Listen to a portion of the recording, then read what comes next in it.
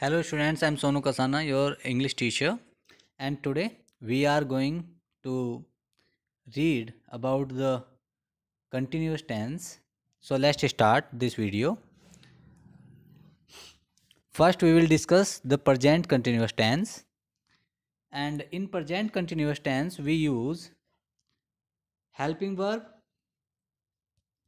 helping verb is rm is R and M. M.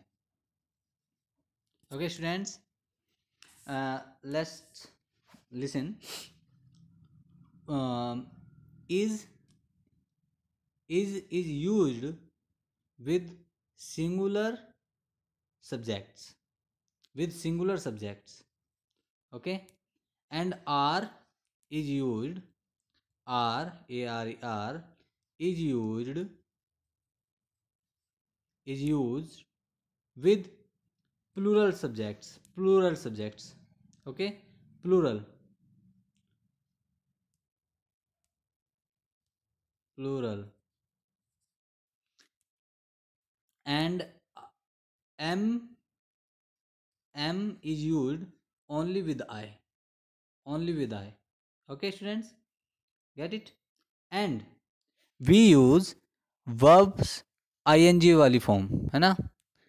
Verbs ING वाली form verb की ING वाली form use की जाती है। इज़ आर एम का यूज़ करते हैं हेल्पिंग वर्ब के रूप में। Okay students so let's start with some examples the very first example is I am not standing I am sitting I am not standing I am sitting second is they are watching television the third one is we are going for a movie. The fourth one is Mayank is doing his homework. The fifth one is mother is cooking dinner. Okay, students. So, what is the formation of the sentences is first of all subject and then helping verb is rm में से कोई एक then first form of the verb में ING और plus object जो बच जाता है ऑब्जेक्ट बचा कुचा सब यहाँ पे आ जाता है। Okay students if we will use not we will use after the helping verb is are am के तुरंत बाद आपका नोट आएगा। अगर नोट सब्जेक्ट में सेंटेंस में है तब। ओके तो affirmative negative sentence affirmative sentences का बता दिया आपको। Subject is are am was is are am first form I N G वाली फॉर्म और ऑब्जेक्ट ऐसे ही आपका निगेटिव वाले में subject is are am first form के वर्ब वर्ब में आईएनजी जुड़ जाएगा, है ना? और यहीं नोट आएगा ओके स्टूडेंट्स हेल्पिंग वर्ब के तुरंत बाद नोट आएगा, है ना? जैसे the I am not playing football the dog is not barking okay students अब आता है इंटेरोगेटिव में। इंटेरोगेटिव भी टू टाइप्स के होते हैं, है ना? फ़र्स्ट टाइप और सेकंड टाइप फ़र्स्ट टाइप आता है आपका, जिसमें हेल्पिंग वर्ब स्टार्टिंग में आता है. इज़ आर एम शुरू में आ जाता है। जो हिंदी में क्या से शुरू होते हैं। जैसे, is Krishna talking to his friend? क्या कृष्णा अपने फ्रेंड से बात कर रहा है? तो इज़ स्टार्टिंग में आ जाता है तो क्वेश्चन इज़ कृष्णा, है ना? हेल्पिंग वर्ब बस स्टार्टिंग में चली गई, बाकी सब कुछ फॉर्मेशन ऐसे ही सब्जेक्ट और हेल्पिंग वर्ब आपस में चेंज हो गए। यानी सब हेल्पिंग वर्ब पहले और सब्जेक्ट बाद में आ जाता है। इसमें जब यदि नोट आएगा तो वो सब्जेक्ट के बाद आएगा। हेल्पिंग वर्ब के बाद नहीं आएगा सब्जेक्ट के बाद आएगा। क्योंकि हेल्पिंग वर्ब और सब्जेक्ट ने अपनी, जो स्थितियाँ हैं, अपनी जो जगहें हैं, वो बदलनी हैं। ओके स्टूडेंट्स वेरी गुड चलिए use of present continuous tense इसका यूज़ क्या है? सबसे पहली बात है to express an action going on the present time अगर प्रजेंट टाइम में कोई एक्शन हो रहा है तो उसे एक्सप्रेस करने के लिए। जैसे the teacher is teaching in the class, teacher class में पढ़ा रही हैं। Second to express longer action which is progress at the current time है ना? लंबे समय तक चलने वाले काम के लिए जो अभी समय प्रजेंट में चल रहा है, जैसे आई एम लर्निंग कथक मतलब कथक वो लंबे समय तक लर्न करेगा, लेकिन अभी भी कर रहा है, अभी स्टार्ट कर चुका है वो लर्न करना। ठीक है? इस तरह के सेंटेंसेस के लिए भी। और थर्ड वन है आपका to express a planned action that will happen in the near future ऐसे एक एक्शन को रिप्रेजेंट करने के लिए जो अभी फ्यूचर में होने वाला है। जैसे isn't he coming with us tonight क्या वह हमारे साथ नहीं आ रहा है आज? है ना? नहीं आ रहा है मतलब भविष्य में वो काम होगा कि वो आएगा या नहीं आएगा तो इसलिए उसे कंटिन्यूस में बोल देते हैं। जैसे my sister is going for a vacation tomorrow है ना? मेरी जो सिस्टर है, वो जा रही हैं वैकेशन के लिए। ऐसा नहीं है कि वो चल चुकी हैं, लेकिन वो कल जाएँगी, ओके? तो उसके लिए इज़ गोइंग बोलते हैं, ओके? तो तीन तरह से हम करते हैं। चलिए जी। इसी तरह से आपका पास्ट टेंस कंटिन्यूस टेंस में। पास्ट कंटिन्यूस टेंस में आपकी हेल्पिंग वर्ब चेंज हो जाती है वाज वर तो was and were okay students was आपका यूज़ किया जाता है सिंगुलर सब्जेक्ट के साथ में। जो सिंगुलर सब्जेक्ट होते हैं, है ना?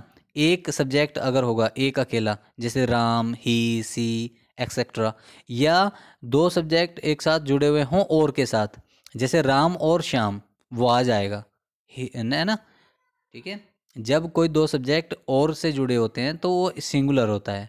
जब कोई दो सब्जेक्ट एंड से जुड़े होते हैं तो वो प्लूरल होते हैं। ओके स्टूडेंट्स तो इसमें हेल्पिंग वर्ब वाज वाजवार हो जाएगी, बाकी सब कुछ सेम रहेगा। एक दो सेंटेंसेस देखते हैं।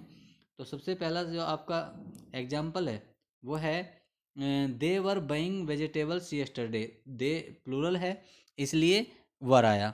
और बइंग आईएनजी वाली फॉर्म इसमें भी रहेगी कंटिन्यूस में सब जगह आईएनजी वाली फॉर्म रहती ही है। ठीक है? वेजिटेबल्स यस्टरडे ओके ऐसे हो गया। एक नंबर फोर देख लीजिए। I was having dinner at eight P M yesterday okay having मतलब करने के लिए यूज़ हुआ है है ना? हैव वैसे हेल्पिंग वर्ब भी होती है, लेकिन यहाँ पर ये मेन वर्ब है हैविंग ओके स्टूडेंट्स चलिए जी. Structure of the sentences in past continuous past continuous में स्ट्रक्चर क्या हो जाता है? सबसे पहले सब्जेक्ट फिर आपका वाज वर्ब में से कोई एक, फिर फ़र्स्ट फॉर्म वर्ब की फ़र्स्ट फॉर्म में आईएनजी जुड़ा हो रहता है और बाकी का आ जाता है. जैसे the mason was was building the house है ना? सेकंड होता है निगेटिव निगेटिव में वही रूल रहेगा सब्जेक्ट आएगा सब्जेक्ट के तुरंत बाद हेल्पिंग वर्ब आएगी, जो वाज वर्ब में से कोई एक होगी, और उसके तुरंत बाद नोट आएगा. फिर उसके तुरंत बाद मैन वर्ब की आईएनजी वाली फॉर्म आएगी, और उसके बाद बाकी की चीज़ें हम उन्हें सही से रखेंगे. चलिए जी. निगेटिव सेंटेंसेज में यहाँ भी वही चीज़ होती है सॉरी निगेटिव बोल रहा हूँ. इंडिया सेंटेंसेज में यहाँ भी ऐसा ही होता है कि वाजवर वाले वाजवर स्टार्टिंग में आ जाता है. है ना? वाजवर स्टार्टिंग में आ जाएगा. जैसे was Sid listening to what I say I was saying okay ये वाला, ऐसे। और ऐसे were you eating mangoes were they going for a picnic है ना? इसका टेंस का यूज़ क्या है? Usages of past continuous tense past continuous tense का यूज़ किया जाता है to express an action that was going on और was in progress at some time in the past जो मतलब अभी जो पास्ट हुआ है, थोड़ा देर पहले उसमें जब काम चल रहा होता है, उस चीज़ के लिए हम यूज़ करते हैं पास्ट कंटिन्यूस टेंस, है ना? चलिए जी, अब फ्यूचर कंटिन्यूस में आ जाते हैं। यहाँ पर हेल्पिंग वर्ब जो है, वो हो जाती है will be shall be will be shall be और वर्ब की जी वाली फॉर्म रहेगी ही रहेगी। चलिए जी तो जैसे फ़र्स्ट एग्जांपल हम ले लें, वो we will be watching television when she arrives tonight है ना? ऐसे, ये हो गया आपका। चलिए अब आ जाते हैं structure of the sentence in future tenses future tenses में स्ट्रक्चर ऑफ़ द सेंटेंस क्या है? तो स्ट्रक्चर ऑफ़ द सेंटेंस है, जैसे सब्जेक्ट हेल्पिंग वर्ब जो कि विल या सेल में से एक है बी के साथ, और फ़र्स्ट फॉर्म की वर्ब की फ़र्स्ट फॉर्म में आईएनजी जुड़ा हुआ रहता है। ठीक है? आप हेल्पिंग वर्ब ना, ऐसे समझें कि विल सेल होगी फ्यूचर में हमेशा विल सेल है ना? और सेल और इसके साथ में जुड़ा होगा बी हमेशा प्लस बी ओके स्टूडेंट्स चलिए निगेटिव में क्या होगा? हेल्पिंग वर्ब के तुरंत बाद नोट आएगा। जैसे she will not be driving that late she will not be driving that late है ना? तो विल नोट आ जाएगा। Okay okay? बाकी इंटरोगेटिव में भी वही होगा कि हेल्पिंग वर्ब शुरू में आ जाएगी। Will he be painting the wall yellow. देखिए, विल बाहर आएगा, भी सब्जेक्ट के बाद ही रहेगा। बी जो है, वो सब्जेक्ट के बाद ही लगेगा। सब्जेक्ट के बाद ही लगना है be. Okay students, uses of future continuous tense देख लीजिए।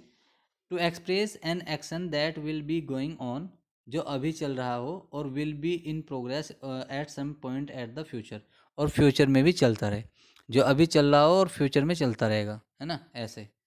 द प्रजेंट विल बी जैसे the present will be watching the parade है ना? देख रहे, देखते रहेंगे, है ना? ऐसे देखते रहेंगे, देख रहे हैं और देखते रहेंगे आगे के लिए।